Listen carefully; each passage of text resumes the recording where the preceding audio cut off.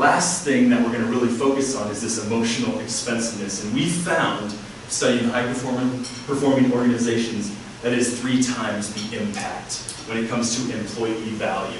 Now, why might that be? So let's think about someone in your life that drives you absolutely insane. So, anybody got someone in mind? It could be anyone.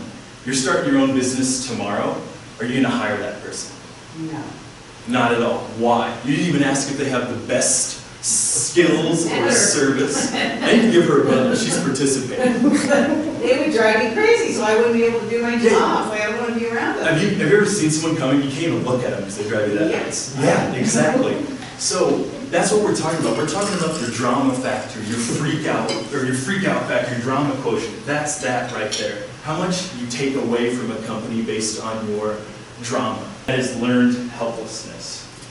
Has anybody heard this term before? Got a marker here. Let's go to the whiteboard. I'll try and show it to you. So let's say we have a cup. Usually I grab a cup, but we'll do it on here this time. And there it's full of fleas. Now you guys know what fleas do. They jump really, really high. So if we were going to leave the cup right there with fleas in it, what would they do? Jump out. Just jump out. And forgive my artwork. You guys will work with me here. Now, they jump out. That's what they do. Now if we were going to put a lid on that same cup with the fleas, what are they going to do? They're gonna try and jump out. They're gonna jump out. They're gonna go pop. You guys heard popcorn before? Pop, pop, pop. Maybe that's not that loud, but they're gonna try and hit that. They're gonna jump as hard as they can, try and get out of there. That's what they do. What's gonna happen eventually is you can remove the lid, and those fleas will still jump to this point right here. Actually, right here, they'll start jumping just below, and then right here, they'll jump just below, and the lid's off.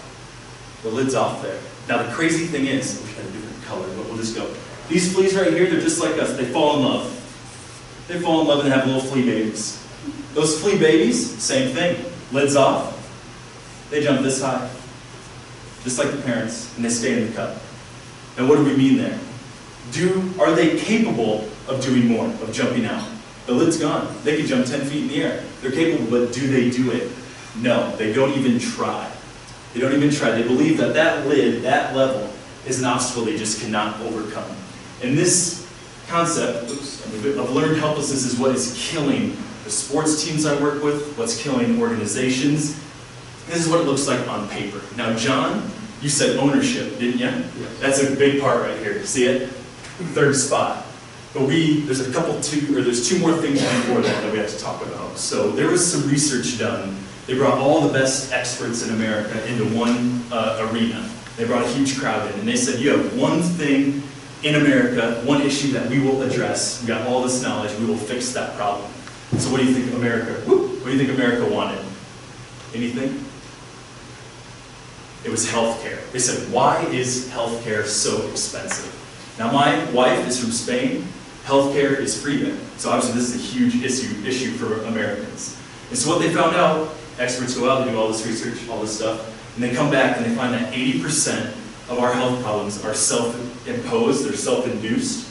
And they also found another thing, that 9 out of 10 people will not, they'd rather pop a pill or have surgery than make a behavioral change to get the results they want. Pop a pill or have surgery to get the results they want, get the change.